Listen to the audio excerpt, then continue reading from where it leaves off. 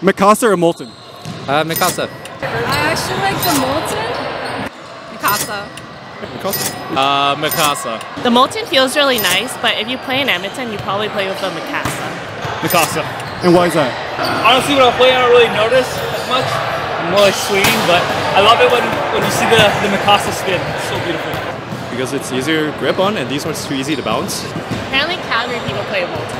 Yeah, Mikasa feels really nice though. It's like there's like more air inside, so like you hit it hurt. It's not as bouncy and it doesn't hurt as much. I think it's softer and the Molten's too bouncy. It just looks nicer. Look at this. Blue, blue and yellow, baby. Plus it matches your microphone.